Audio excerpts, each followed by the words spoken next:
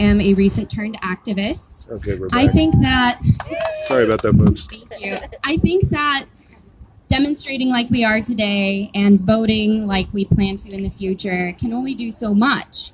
But what I think is really important for us to all realize is that we can do things on a daily basis to help our environment. And what I mean by that is the V word veganism. So I'm vegan, and it is the single best way that we can reduce our carbon footprint.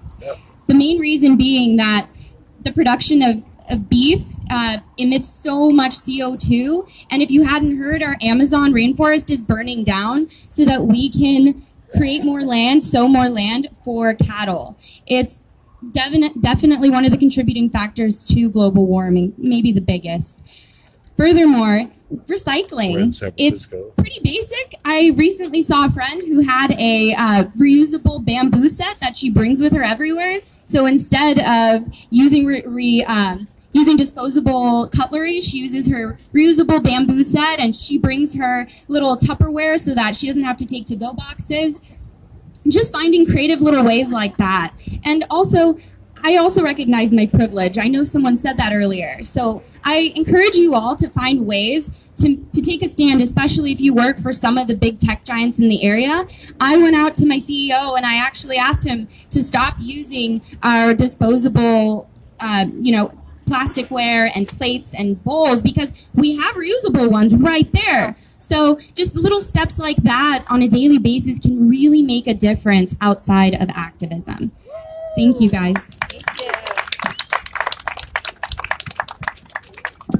And we're here at Hey everyone, my name is Heather. Uh, my forever reason for coming out here is because I love Mother Earth. Uh, my very personal reason today, though, is because I'm really exhausted at this. Uh, this system makes it nearly impossible to make choices that don't contribute to the oppression of people all around the world. This system makes it nearly impossible to make choices that doesn't contribute to the destruction of ecosystems all around the world. I'm just tired. I want to be able to live in alignment with Mother Earth.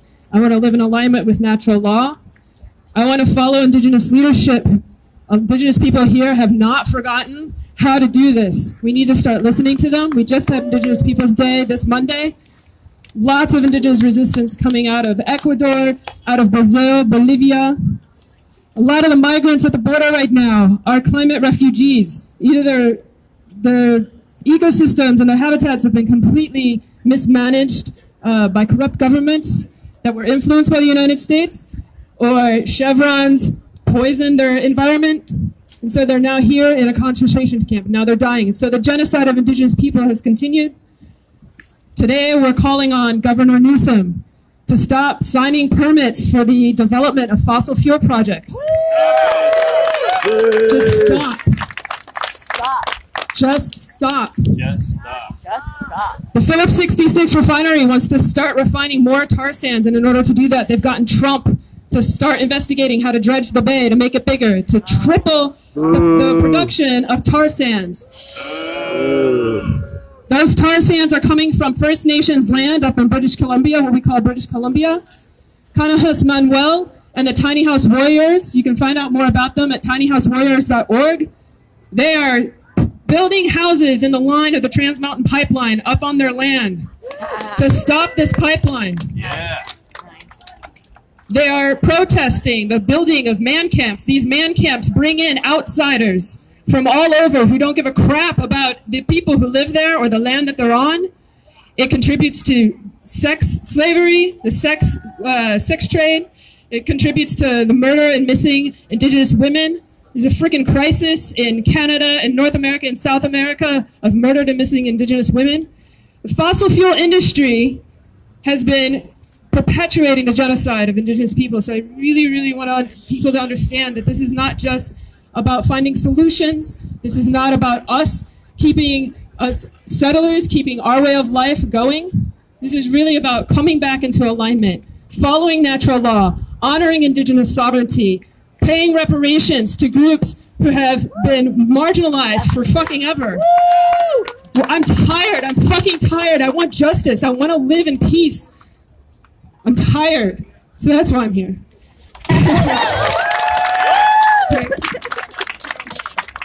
if you have a friend that you know is wants to also live in alignment, please bring them to our next general meeting. We have a meeting coming up Sunday, October 20th from 2 to 4 p.m. in Berkeley, California. It's really close to the Ashby BART. It's at 2939 Ellis Street, the South Berkeley Senior Center. Everyone here, please bring friends. We have a decolonization affinity group. We have a close the camps affinity group. We have slow down and space out, space out affinity group. We have so many ways for people to get involved. We're really looking at regenerative culture. We're looking at making this dramatic, bringing music. Thank you, Sandra, so much for singing, singing, our, singing us back into life all day. Uh, and thank you, Danielle, for, for putting together so much of this the theatrics. To the Red Rebels who are expressing our grief and our love. And tomorrow, is anyone here from uh, XR Sacramento? I am. Can you please speak to the action you have going on tomorrow? Yes, yes. Okay. Okay, we're meeting at 11 a.m. Uh, on the uh, 12th, between 12th and 13th at L. Anyway, it's the capital. You can't miss it. and it's going to be a funeral, basically. It's going to be a march around the building, and then similar to what we did here today, a die-in. Uh, I loved, I loved being able to come here and see your ideas and take them back up to SAC because it's a small group, just like you know here. Not that this is a small group; it's a great big group. I love it. Um, yeah, it starts at eleven, and the last time there was, we we all saw each other at the youth climate strike.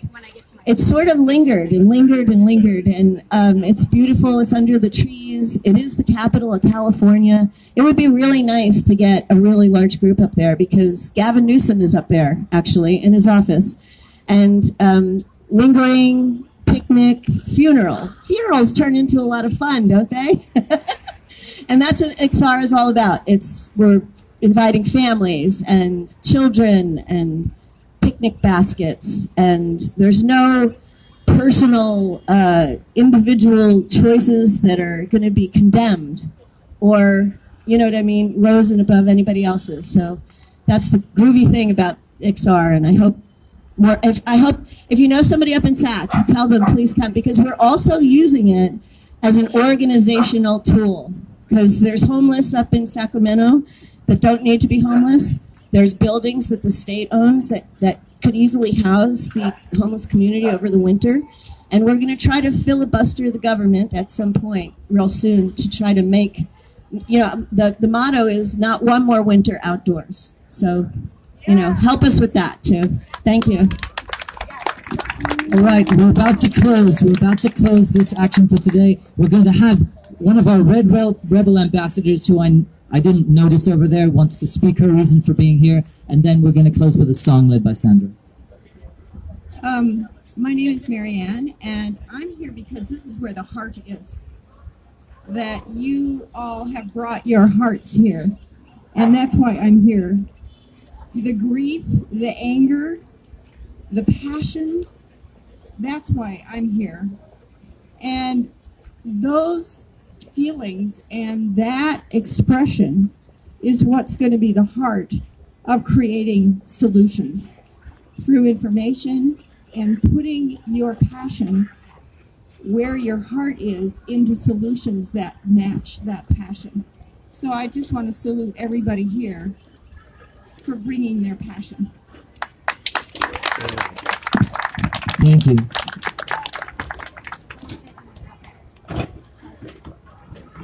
Hello, everyone. This is Cara from XR.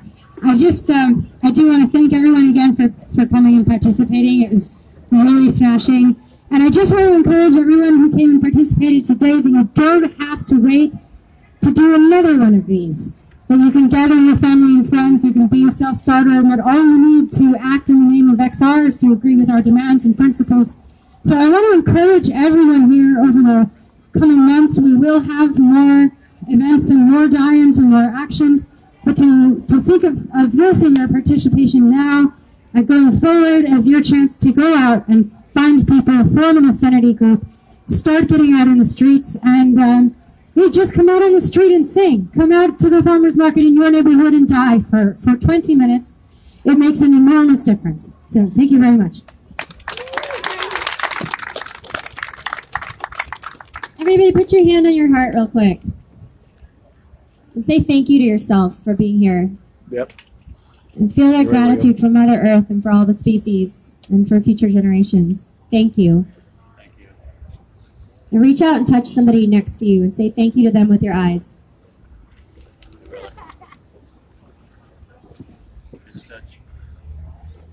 We're numbers out here. We are strong. It's in our DNA to remember how to live in regeneration with nature. We are animals just like all the other species out there. And we've taken a sidestep. Our population has gone straight through the roof. We've all seen what happens to species whose population grows so quickly. It's bad news shortly thereafter. And it's up to us to go back seven generations and think about seven generations in the future and how we can remember from our indigenous leaders, from our great great grandmothers, how to be a regenerative force on planet Earth through our own actions, through our actions in the world, through the work that we do, through the pressure that we're putting on our leaders, and becoming those leaders ourselves. This movement will grow. Invite 100 people to the next XR meeting. Invite 100 people to the next XR action. 10 will show up. And encourage each of those 10 to invite 100 more people. We are going to win this. We have to. We have no other choice. We all ready for our closing song? All right, repeat after me. Uh, when the earth, begins to cool. Oh, when the earth begins to cool. Oh, how I want to live on that planet. When the earth begins to cool. Oh, when the women can all lead. Oh, when the women can all lead. Oh, how I want to live on that planet. Oh, when the women can all lead. Oh, when the youth oh, when the youth are all in charge. are all in charge. Oh, when the youth are all in charge. Oh, how I want to live on that planet. Whoa, when the youth are all in charge. Oh, when the earth, oh, when the earth begins to cool, begins to cool. Oh, when the earth begins to cool.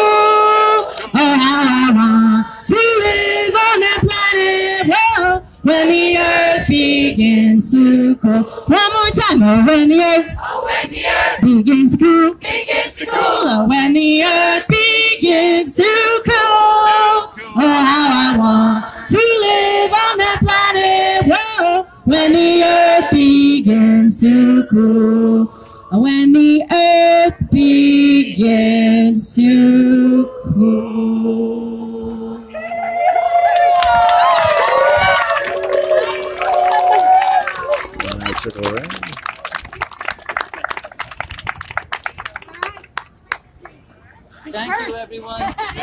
Thank you, everyone.